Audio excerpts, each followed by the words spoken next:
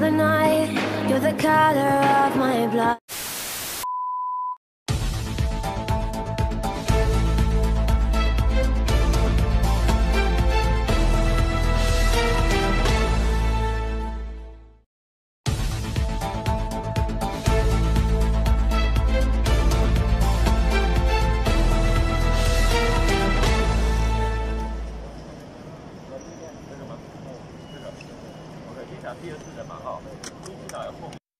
Hello guys!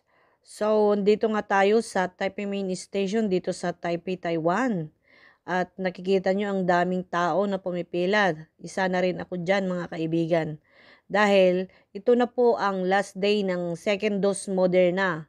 Sa ibang schedule, ibang vaccine na naman po. Kaya ating sasamantalahin para hindi na tayo pa maghihintay ng matagal.